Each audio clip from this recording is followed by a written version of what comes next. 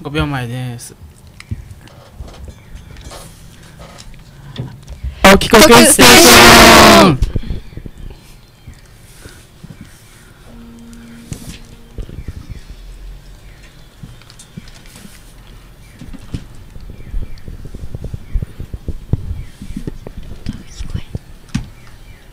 あ嘘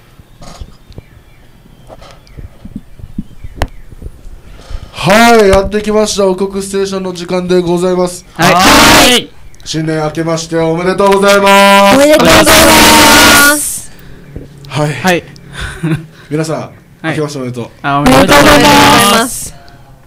なんかね、うん。あのー、すごい久しぶりでラジオ。すそうだね。ね今日1ヶ月ぶりくらいかな。そうだね、大体1ヶ月ぶりぐらい。で、あのー、まあ今、今、ミキサーに座ってね、喋ってんだけど、はい。何喋ればいいかっていう問題。うんとりあえず自己紹介と番組の紹介やろうか。そうする？そうしよう。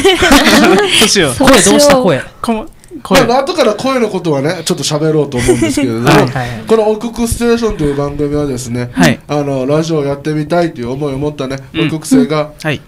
まあ、ラジオやっちゃおうかって言って、まあさんにね始めちゃった「言う番組やっちゃいなよ」って言われて、軽っやった番組でございます。はーいはい、はいさて、新年一発目の放送、お届けするのは、親方と、二代目お姉と小園助とミキとなるみとゲストがいらしてますのではい自己紹介お願いしますお願いしますはいえっとどうぞ沖縄国際大学3年次休学しています又吉まなみですよろしくお願いしますお願いしますはい、はい。ラジオ始めましてですか？始めましてですかって日本語おかしい出てる。出てる。この子は出てない。この子は出てる。あ 向こうのラジオ局かな向こうの。損の方だね。方で OK です。関係ないのに名前は出しません。すいません。でもなんかこっち初めてです何、ね何、何、何、全然話わかんないんだけど。まあまあいろいろ他局でね番組出てたりするのかな？うん。沖国のボラ室でやっている、このプロジェクトとかを発表するラジオに出あてる、あはいはい、うん。ソーシャルラジオとかそうそうそう沖国ソーシャルラジオ。あれね、はい。あれね、うん。あれあれね？いやわかんねえだろわかるよ。だってあっち FM 読みたんのスタッフがやってるもん。うん。あそうなん名前出しちゃった。ついに。はいはいという感じで、はい。まなみもよろしくお願い。します来てますのではい。ぜひよろしくお願いします。お願いします。お願い皆さんどうでしたか？新年。新年。もう2016年。うん。はい。なんか中途半端な数字、2015と違い。まあ歯切れ悪いっすよねそう。数字的にも。どうでした？お姉はこの新年、こう、新年明けてから今もう10日経つじゃないですか。はい10日間、どういうふうにお姉を過ごしてきたの？お姉を過ごしていた。お姉の2016年聞く？いや聞く。今年はお姉を俺やりたくないからもう普通に高人でいきますよ。あ、じゃあ、高人。じゃあはい。僕の10 2016年はねまず年越しは一人でしたね。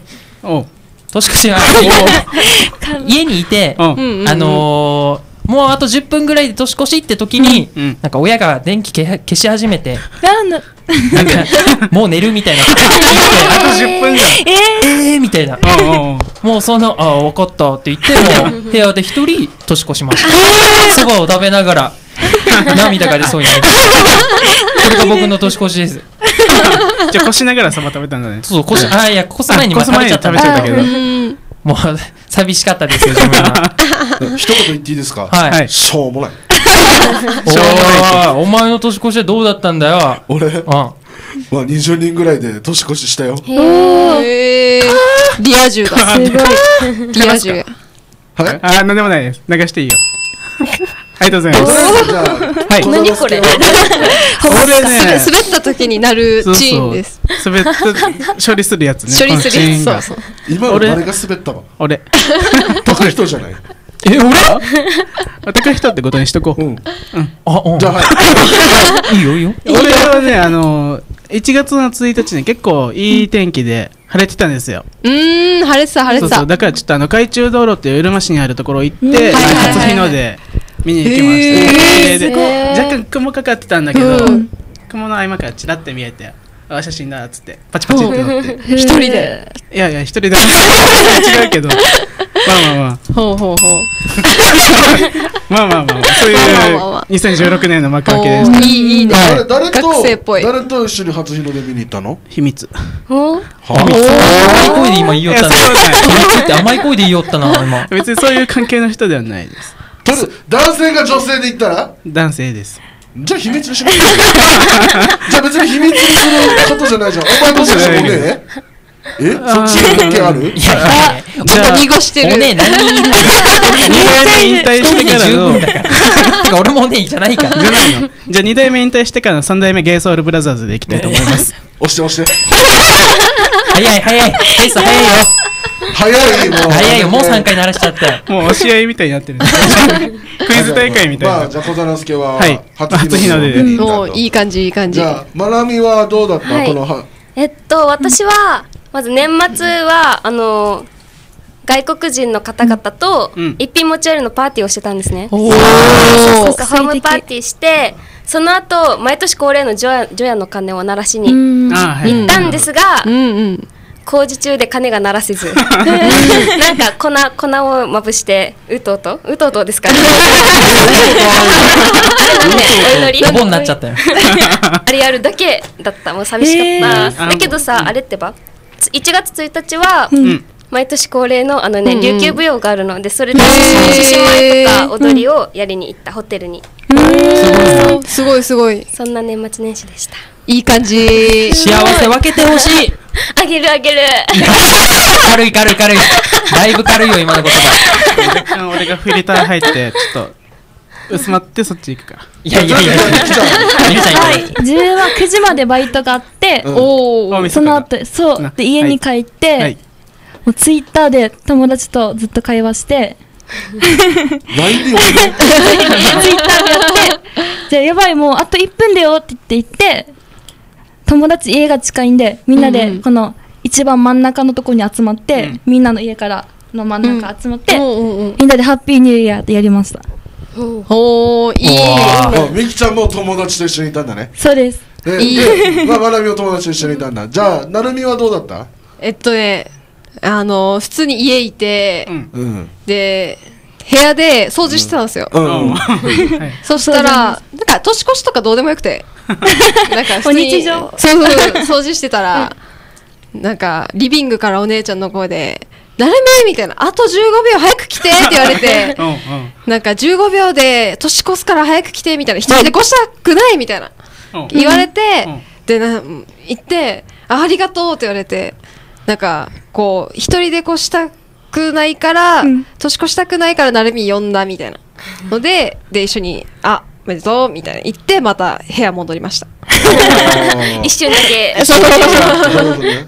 まあ、俺はまあさっき最初に言ったんだけど、あの浦添のね学生一緒にやった友達と一緒に、うん。そいつん家でまあ11時55分くらいから酒飲みながら。はい。あと5分とか言って、カウントダウン TV 見ながらやってたんだけど。で楽しそう。エグザイルがちょうどやってカウントダウンしてたじゃん。あうんあ、そうなのまあで、やってて、3、2、1、ハッピーニューイヤーって言った時にビールみんなで一気飲みするっていう。若いなぁ学生だ。楽しかった。楽しかった。楽しかった。でも、こう話聞いてたら一人だけ、うん。ぼっちで、うわーハッピーニューイヤーいや、みんな楽しそうですね。楽しそうですね、2016年。いや、押す準備しなくていいよ。チーンっていう押す準備しなくていい。や今。今、押し、今、いつ押すのかなってちょっと待ってたのに。待ってたのに。はい。まあ、こんなはい。はい。年越しを年越しねしたメンバーでございました。はいはい。はいメールアドレス紹介する？次。メールとかツイキャス来てる？一応ね、ツイキャスコメント来てまして、おおっと、新文字、正則さんかな？お、明けおめって来てまして、よととよろ。ろしくお願いします。お願いしよろしくお願いしま。ますすゆうきさんからも、お帰国の皆さん、こんにちは。お、こんにちは明けましておめでとうございます。おめでとうございます。お願いします。お願いしますあ、違う、あの、カメラに手振っちゃった。あーそういうことね。びっくりした。やばい。今外にいるのかな。誰もいないから、あれ俺だけ見えてる見えないの見える。なんか最近ちょっと見えたり見えなかった。ああ、その話にオチはあるのか。ないです。ガチガチガチガチ嘘です。オチないって言ってるのに続けて今どうしようかなと思って。まあまあまあ。さあじゃあここでですね、あのメールアドレス、はい紹介していきたいと思います。この番組ではメッセージを募集しております。メールアドレス761アットマーク fm コザ .jp 761アットマーク fm koza.jp でございます。はいまたツイキャスユーストリームの方で映像の方も配信していますので、はいぜひそちらからも見て、うん新年こんなメンバーでやってますので、はい。ははい。顔がね、もうちょっと忘れちゃったなと。もう10日ぶりだしね、うん。と思ってる方はぜひ見てください。よろしくお願いします。お願いしますそれでは、はい本日の1曲目は誰が流すのでしょうか？じゃあ、自分流します。持っていきますね、スマートフォンを。あありがとうございます、はいあの早くして 何流れんのかいやこっおーお 結構今年の冬さはい。あったかくない、あったかかったです。まあ、今俺の格好すニット帽に全身上下一緒のスウェットなんだけどさいや、完全に、完全にちょっとあれだよね。やられてるよね、ミキを。なんかにやられてるよね まあここでですねちょっと曲の紹介できましたか？はい、できました。あちょっと待ってよ前あのじゃあ曲紹介どうぞ黒猫フューチャリング久しでシューティングスター。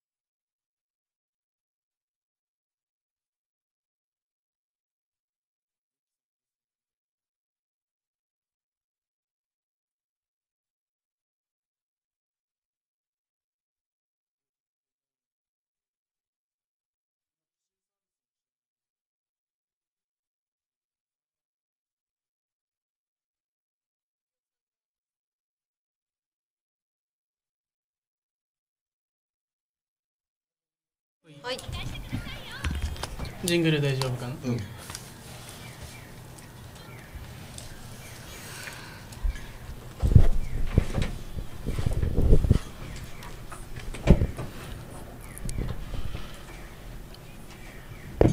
はい、引き続き王国ステーションをお送りしていきたいと思います。はい。はーい。ここでゲストの又吉まなみさんから告知のお知らせがあるそうですので、今なるほど。心の準備は大丈夫かなあいいよ。はい。OK お願いします。えっと、はい、えっと 私、世界若者うちなんちゅ連合会に入っていまして、でそれの、えっとね、沖縄は移民の歴史が長いんですね。あ結構あってで、世界中に沖縄県人会っていうのがあるんですよ。で、その、そこにいるうちなんちゅが集まる、沖縄に集まるイベントがあります。で、結構先なんですけど、10月20日から24日。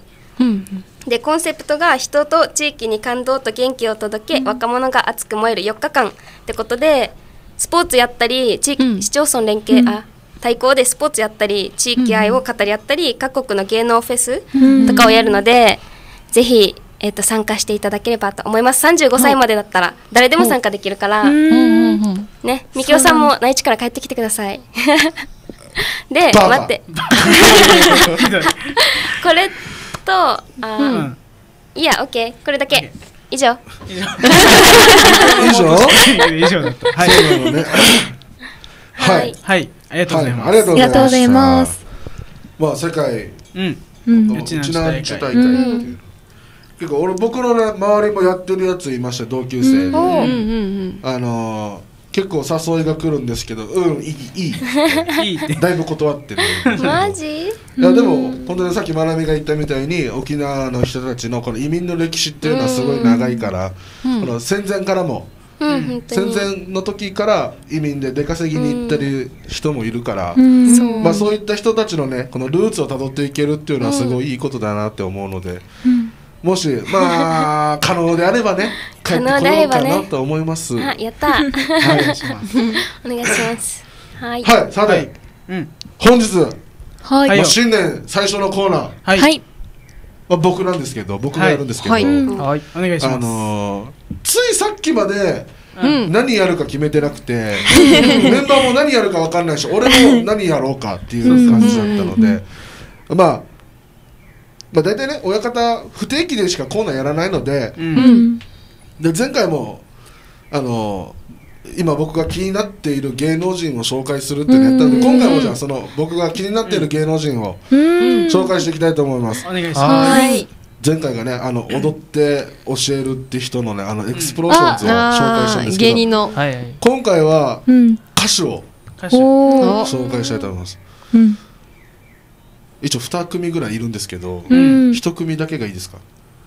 うんまあ紹介したいだけ紹介しまたいですあとりあえず一組目いっちゃい っちゃいますか？はい。はいお願いします。ですねあの西野カナさんでございますおうー。んこの12月にあった FNS 歌謡祭っていうのでうん。歌を知ってうん。それまで一応出てるっていうのは分かってたんだけど、ん。全く興味なくて。うん。名前だけ知ってるみたいな。名前だけ知ってるみたいな。はいはい。ああ出てると思って見たら可愛いと思って。はい可愛いこの人。はい。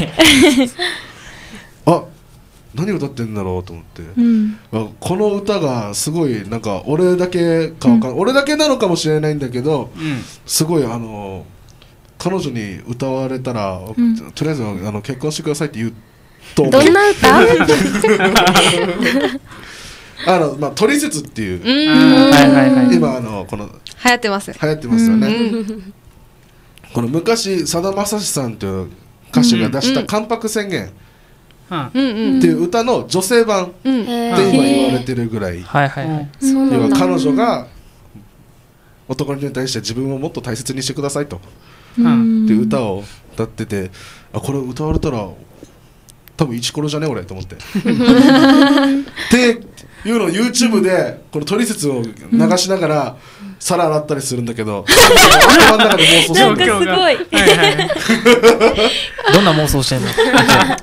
まあ、仮にね俺に彼女がいるとして彼女がいるとして彼女がいるとして彼がいる。彼女が彼女がいるとして彼女彼がいるとして。女がいるとして。仮に。はい仮に仮に。ね仮にね。仮にねもしカラオケとか行って歌われたら、やべえなっていうのを一人でずっと妄想して、はいはい。今恋してるの？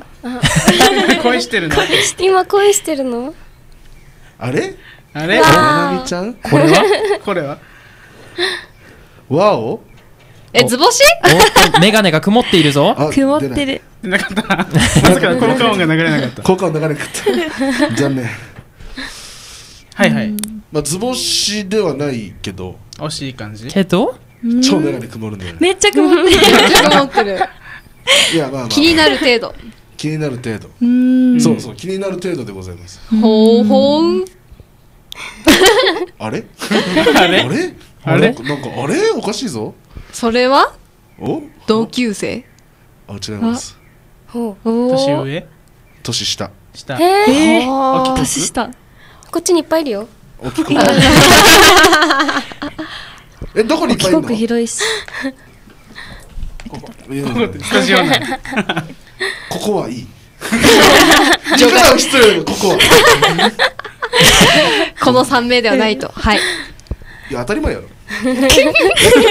当たり前。何言ってん当たり前よ。の俺も滑った？絶対滑ってねえよ今。滑ったね、今。え学科は学科。学学科どこだったかな？多学科？みきおさんと一緒？多学科多学科。うん。ほう。何つながり？イベント。イイベント。うん。お帰国？お帰国。帰国。広。何年生？だからい学年1個あ下一個下。あごめんじゃじゃ3下下しか行ってないから。一個下三年生？あ。三年生。か あ。学まあ部学部。学部？学部がまだわかんないんだ。多分一応経済とかそっち系なんだよ。経済？じゃあやは知らん。経済といやは知らん。あ そっか高人が経済なんだよね一応ね。経済ですから。あなんでお姉ちょっと目がキリッとしてる同じゼミかもあ、誰わかるのだろうって。誰に似てるの？誰に似てる？似有名人で西野かな例えて。西野かな似てないあ似てない。誰に誰に似てるかって言われたらあの思いつく芸能人がいないその子。ーええ。綺麗系？可愛い系？可愛い系。綺麗系な人はちょっと俺が苦手なんだよね。みきおさんのタイプは知ってます。あ可愛い系でる。可愛い系で身長が150弱の人で。あああうん。あ、ちっちゃい感じの。そうそうそうそう。あ最初ちっちゃい子が好きって言った時しみきおさんは身長の話してるんだけど、ん。なにてっきりあの小学生とか 想像してしまって。学校でこの話並びとしててえめ超ドン引きされていや俺ロリコンじゃないよ。慎重に慎重っつって。ああみたいなねその年齢のあれで小さいとかじゃないから、はいはい。うん。だいぶフォロー入れないといけないんだけど。縦に。まあ、縦にね。縦にの話、なるほどね。あちなみに今ツイキャスでコメント入ってましてほい。岩崎力士さんでよろしいのかな？こんにちはとこんにちは。えー。そして今これ何やってるんですか？ということなんですけど沖縄でねラジオやってますのでミキオの恋愛トークですよ。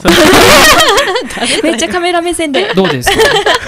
あの多分ねあのツイキャスは、あのこっちしか映ってないんだよね。高人自分まなみしか今映ってなくて。でユーストもきっと俺映ってないんだよ、ああ、そうじゃない。映ってない いるんですよ、体大きいやつが。ニットかぶった 上下パーカーの。なるなるほど。そうそうさっきなるみに 入院してるでしょって言われてた。来た瞬間。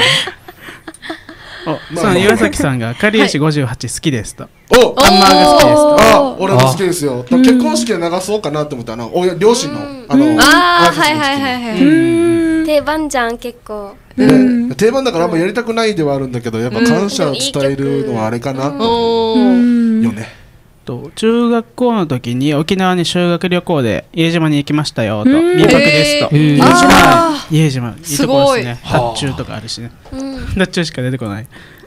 タッチュあれあの火付け石のうんうん鉱物でできてんだよ。あマジで。あれ自身あの山け石自体。しつけ石？って何ですか？よくあの童話とかでなかった石と石をぶつけたら火花が出るっていう。カチカチ山。の。あの石もあれタッチュー。の石そーの石だわけさんだ。ら鶴橋とかで思いっきり石岩砕こうとしたら火花出る。ええ、すごい。そ。んぐらい硬い。うわ、すごい。えそれってあれ？なんか小園石ってあれ？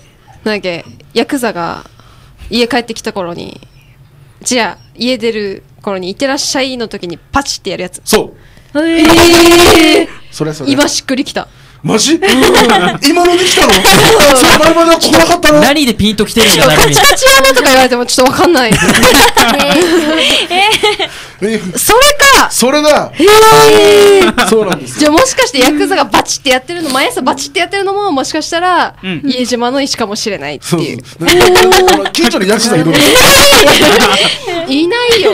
何見てヤクザが家出るときに火付けしてカチカチやるの見てんだよなるみの家がそうなの？何？なるみの家がそうなの？さっきのお姉ちゃんの話も、なるみって呼び出してたのもそれも。石やるから。みたいな。明けましておめでとうカチカチ。あハッピーニューイヤー。カチカチっていう。違う危ない違う。の誰がハッピーニューイヤー。カチはいはい、すい。ませんはいはい。すいません。ちょっと話戻戻します。というわけで西野かなはい。はい。取説でそうトリセツがもうね、好き。好き。でこれをうん。前先週友達に話したんですよ、はい。したら、え意外って言われて。まあ確かになんか意外な感じだミキをこんなの聞いたらなんかこんな女無理って言いそうと思う。言うと思ったって言われてあ 確かに。歌詞が、みきおさんめんどくせえとかああ、言いそう。言いそう。めっちゃ言いそうめんどくせえ、こんなんのめんどくせえ。まあ確かに確かに なんかね思わなかったんだよねへえ。おーなんでだろうねまあまあまで西野カナさんめっちゃ頭いいってしてました。知らなんか大学も、あんなに歌手活動忙しいのに、うん一回も休んだことないらしいです。へえ。頭なん名前忘れたんだけどめっちゃ頭いいなんか都内でも有名な大学出ててへえ。それに歌手もできてるのがすごいなと思ってましたすごいな。すごい。すごいあんま年も変わらない年もあんま変わんないよね確かねそうなの2 5 5歳ぐらいかそうオールマイティーなんだ。うんすごいいいですな。いいですな。素敵なんでこっちちょいちょい見てちょっとニヤニヤしてんだよ ゲスト、ゲストさん。あまなみないよ。知ってるよ？あとまなみさんもうちょっとあのマイク近づいてもらっていいですか喋るとき？はあ。なた声がちっちゃいんですよあ、オッケーえ？いやいや。であと一組いるんですけれどもはいうん。あの最近よくあのーロックな音楽を聴くようになっておお。ちょっと乗りやすいっていうリズムにうん。で最近よくワンオクロック。ああー。よいね。ワンオクロック。良い。ワンオクロックうんこ良い、うん、高校の時ね。うん。うん。聞いてた。俺は高校じゃないんだよ大学生になってからなんだけど、この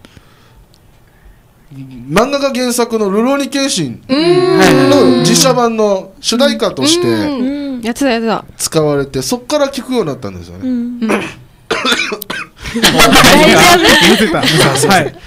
で、あの面白いなと思ってでも、うん。まあ、キーが高いっていうのうでん。なかなかねあのカラオケでも歌わないって決めてたんだけど、うん。やっぱ聞く分にはまあただかなと思って、聞いてたらうん。結構ねバラードでいい曲を見つけちゃって。聞きたい。でうちの先輩もそれをちょっとタイムラインにポンって貼ってたんでうん。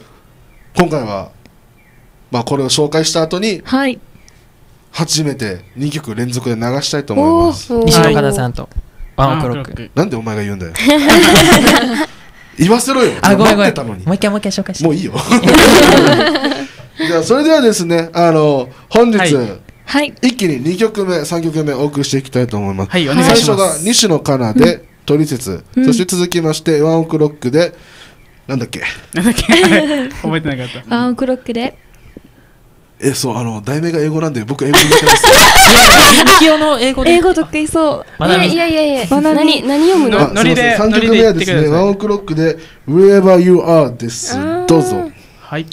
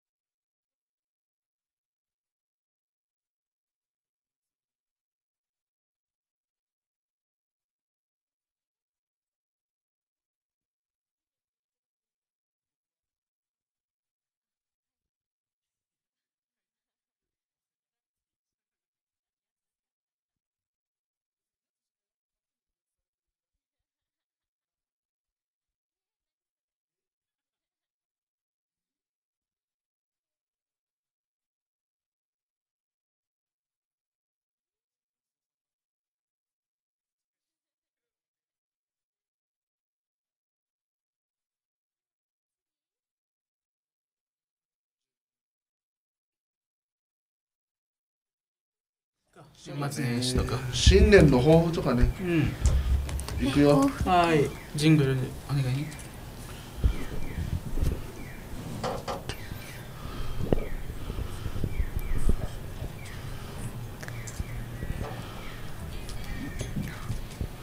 はい引き続き王国ステーションをお送りしていきたいと思います。はははい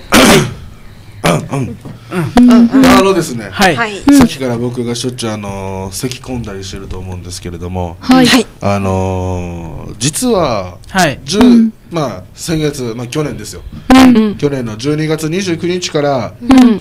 今年年を明けて1月3日までの間うん。飲み会が6連チャン続きました。すごい。おー。まあ免疫力が低下しうん。多分ね大学生になって初めて風邪ひいた。あマジ？でえすごいな。逆に言えば今まで弾かなかったんでしょ？そうそうそう。すごいな。ー健康体だうん。うん。このね鼻詰まりとかあうん。はあってでも全然喉とか痛くなかったんだけどうん。今回がねなんか鼻詰まりプラス喉の痛みという。あ。うん。うん。めっちゃきついやつ。きついやつ。しんどいな。ううんん。だからもう最近ずっと喉飴を常備してうん。ボイスケア喉飴。うんちょいい声出せるように。いつでもねこうガラガラな声の状態でも出せるようにっていう。うん。いい声出てるよ。ありがとう。すべて。ありがとうございます。滑ったんだ今。まあ、はい。あ後半のフリートークでございます、はい。はい。はいどうです？この新年。うん。もう2016年になりました、うん。じゃあこの2016年1月のね1月の12月までのこの1年間皆さんはどうやって過ごしていくご予定ですか、うん。もうあれだねこのこっち側の人たちっていうかうん。俺うん。とまなみは上がって3年生だっけ次3年次3う年ん。まあ、三重県にしろ成美もそうだと思うけど就活がね4月から4月っていうかもう、ね、身近なん。でいやーね就活が 大変だと思うけれど。ね。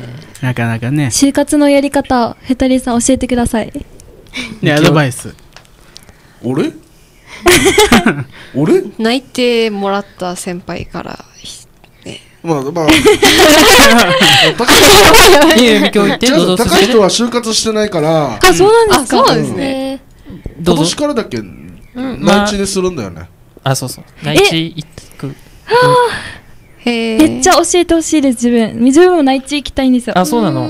内地行く方法？あ、なんか内地の就活の仕方とか、情報の飛行機乗って。就活会場に行くんだ。あみきおさんも内地でしたよね。うん福岡どうなって俺情報来るんですか？いやあのー俺はあのー今だから言えることなんですけど就活はすごい適当にやってました、えうえ。ん。あのー本当に就活が解禁されたのが僕の代から早くなって、うん。去年の3月から。うんうんうんで3月の1週目には学校でもこのなんていうんですか合同説明会はい、うん。学内のがあってうん。でそれで参加してるやつらも何人かいてちょうど講座があって私服で行ったらみんなスーツでいるからなんでやスーツなの？って言ったら「え今日ごご説あるよ」みたいな「え？そっ?」つって「聞いてねう。うん。行けば?」みたいな「いや私服だしなんかいいかな」と思って。うん。うん。で2週目3週目も行かなくてで4週目ぐらいもう3月末ぐらいからうん。はい。ちょっとあのとことこと行くようになって、でもそれでもこのカバンとかもなんかリクルート用で買わないといけないみたいなのあったじゃないですか。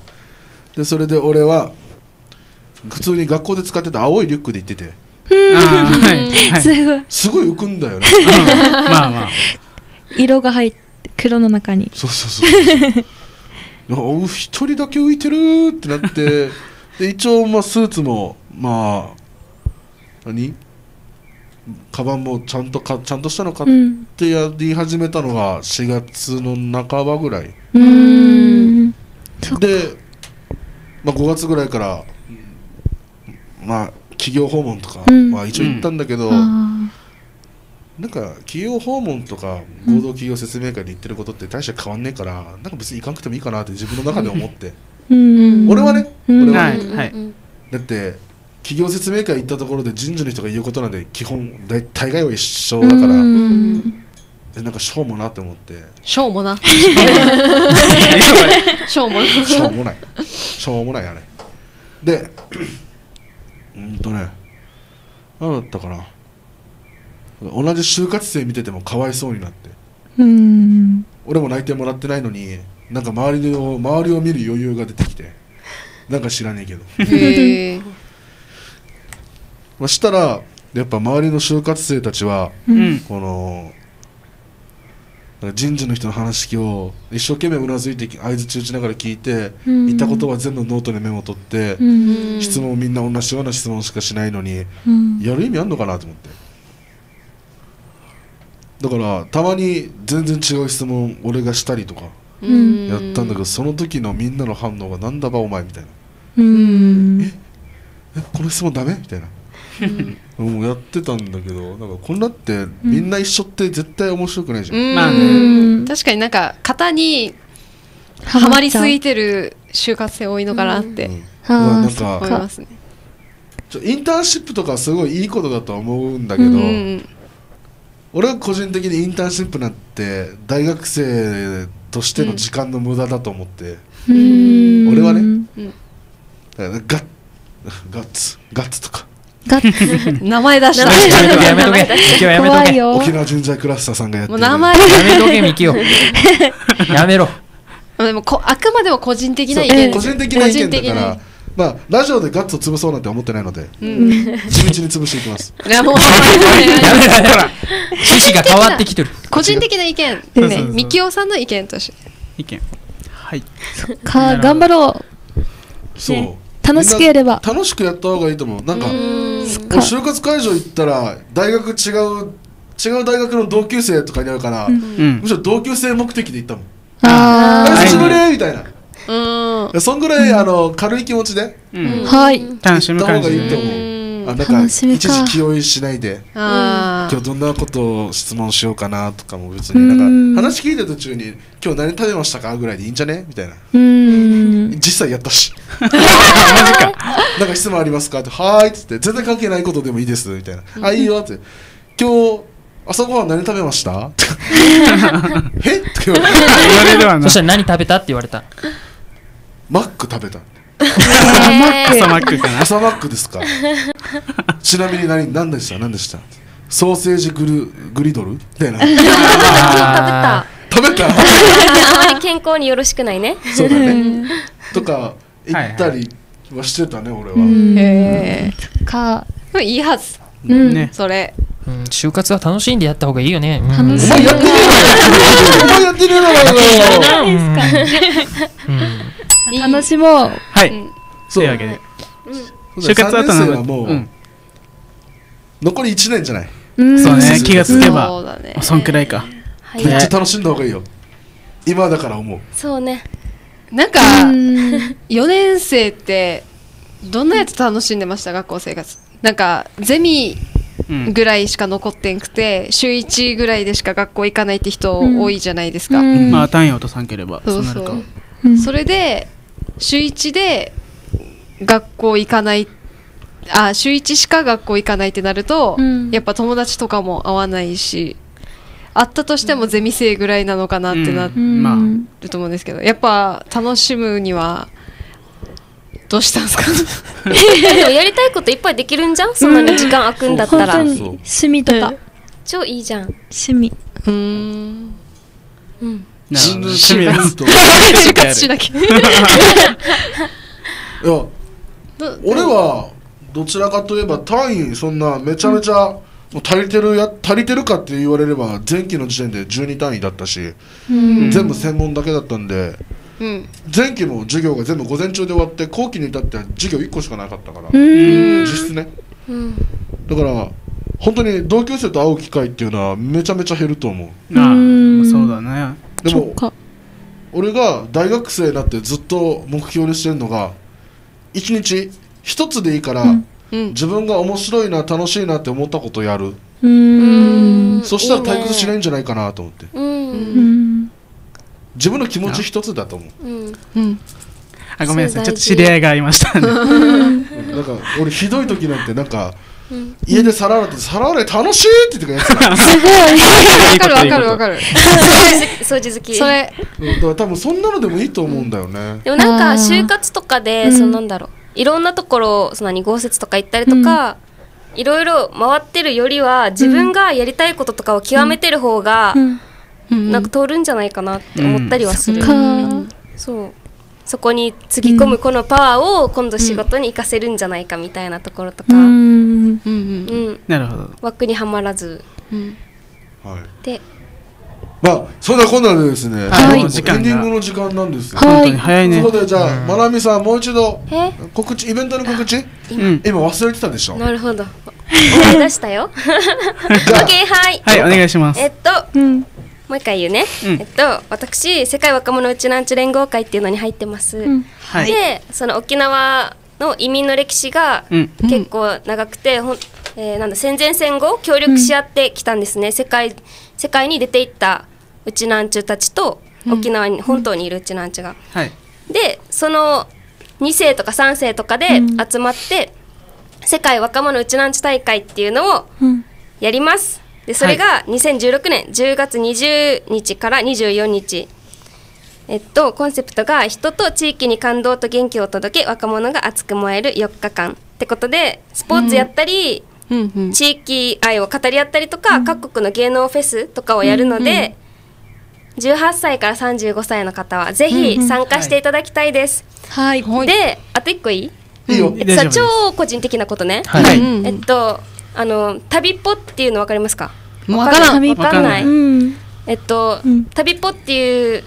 会社がやってるやつでドリームっていうのがあって、うん。それに応募して優勝したらうん。世界一周できる券がもらえるみたいなのがあるんですね。でそれに、えー応募しました。で今3次審査なんですけど3次審査がネット投票なんですよ。おそう。でその投票期間が13日、こ今月の13日から23日うん。なので、あの旅っぽドリームって検索していただいて、んえっと、私又吉まなみうんをちょっと見て、なんかまあいいなって思ったらぐらいでいいので、うんうん。投票していただければと思います。はい。はい、早速検索しまたすいやい。や大丈夫そうでも13日からなの。うん。あ、そう。水旅っぽ。曜日からだねはい、えっとね防災今私勉強してるので、うんえーこの世界中のうちなんちゅと、うん。もっとこうなんだろう。災害とかがあった時にすぐ助け合えるようなシステムを作りに、うん。この世界一周して旅しながら、うん。うん。